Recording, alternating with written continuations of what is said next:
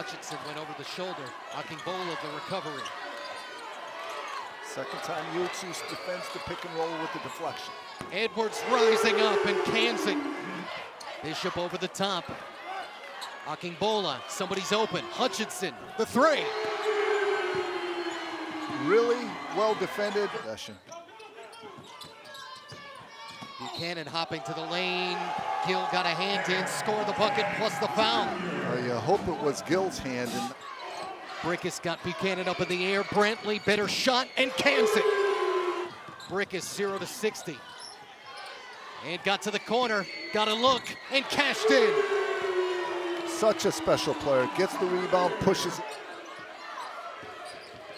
And LaSalle only 5 for 18. Is easier to do it.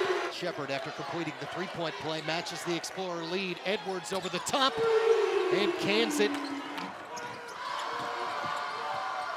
Brickus finds himself open and cashes in. Now matching up, but too late. Buchanan open and cans it. Still going for the lob. Brickus instead turns and scores plus the foul. The kid from Coatesville lifting them again.